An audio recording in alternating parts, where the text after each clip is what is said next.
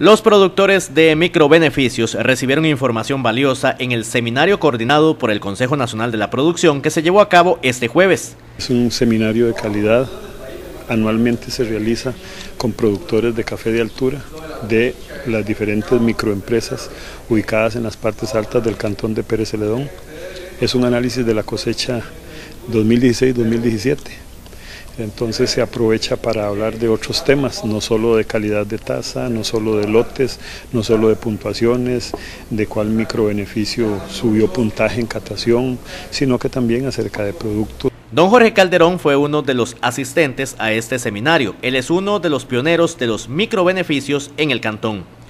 Fuimos uno de los pioneros en, en esto de microbeneficiado de café en la zona y a partir de ahí eh, se, ha venido abriendo y motivando a la gente a, procesar el café de sus fincas en microbeneficios.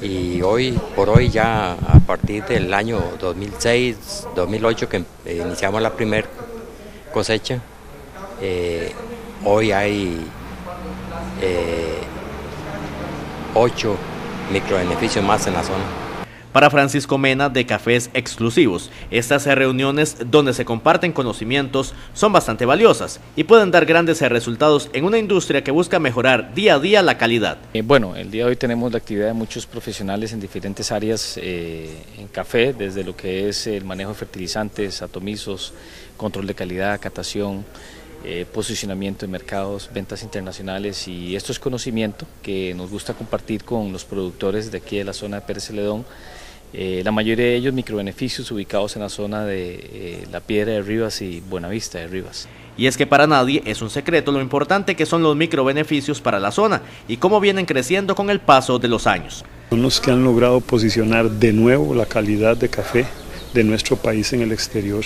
Eventualmente eh, las personas no han entendido que no es lo mismo manejar lotes de 250, de 500 y de 1000 fanegas a manejar lotes eh, de mayor volumen. Hace algunos eh, ocho años aquí en la zona, eh, nueve años con uno, que abrió el camino para el resto y hoy por hoy pues vemos cómo las comunidades donde están presentes estos microbeneficios en las zonas altas están cambiando ya su rostro, ya hay ingresos de dinero a estas pequeñas comunidades y vemos cómo poco a poco el productor se va empoderando y va generar, generándose en un microempresario agrícola.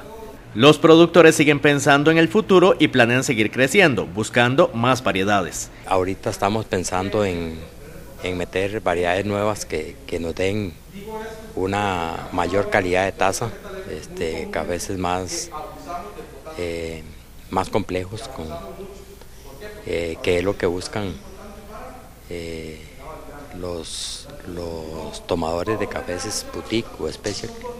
Este seminario es coordinado por el Consejo Nacional de la Producción y se trataron aspectos como la calidad de la taza, atomizo de la roya, fertilización y otros.